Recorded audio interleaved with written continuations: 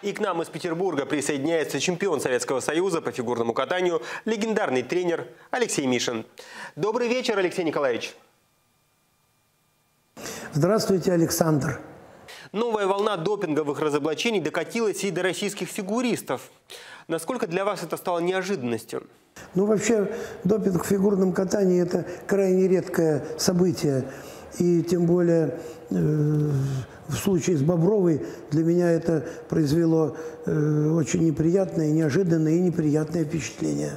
Фигуристы Боброва и Соколов пропустят чемпионат мира в Бостоне, поскольку в их пробах обнаружили запрещенный препарат – мельдоний.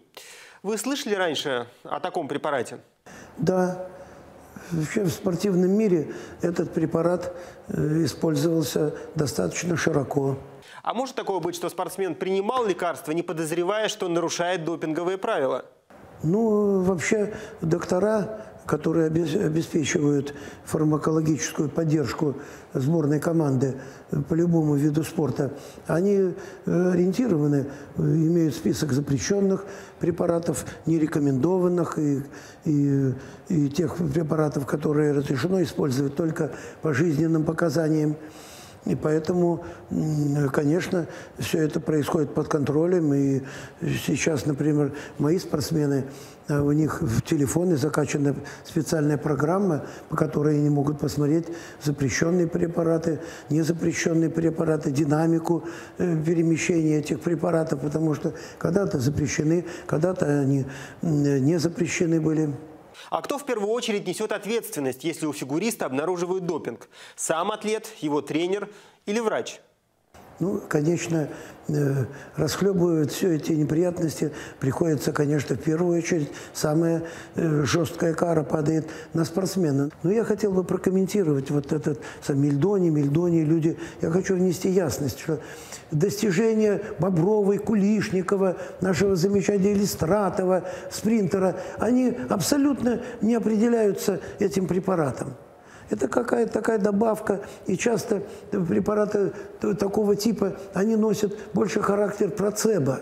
Как вы оцениваете поступок Марии Шараповой, которая призналась в употреблении запрещенного препарата?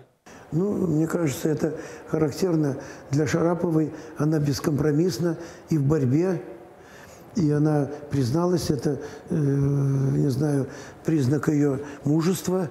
И я с восхищением Э, снимаю шляпу перед ее э, заявлением, при ее манере поведения, а не пытаться что-то хитрить, когда, ну куда же там денешься, если есть препарат, ну что там, никуда не спрячешься.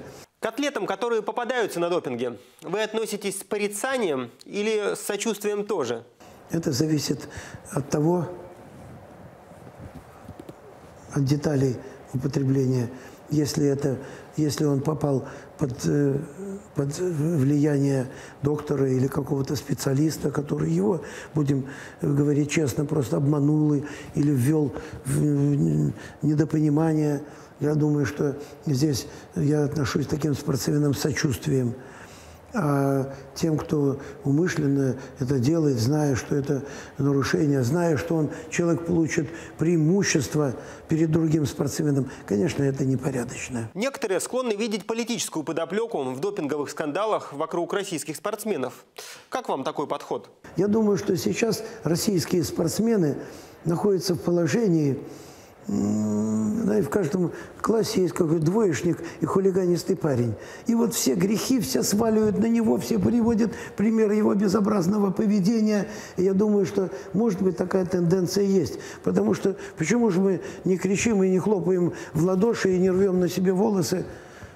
Которых и так немного, когда эти биатлонисты северных стран все поголовно больны астмой, принимают по медицинским, по жизненным показаниям э, препараты, и, и это все проходит э, совершенно спокойно и без ажиотажа. Мне кажется, что здесь есть э, и такой акцент. Я бы не делал его главенствующим, но не говорил бы, по крайней мере, что во всех допингах виноват Обама. Нет, я не думаю, что это так. Но надо в каждом случае разбираться. Спасибо, Алексей Николаевич, и поздравляю вас с прошедшим юбилеем. Желаю здоровья и успехов. Спасибо, Александр, спасибо за добрые слова. Хочу заверить тебя, Саша, что празднование прошло без мелдроната. И всего хорошего, до свидания. С нами из Санкт-Петербурга был легендарный тренер Алексей Мишин, который 8 марта отметил 75-летний юбилей.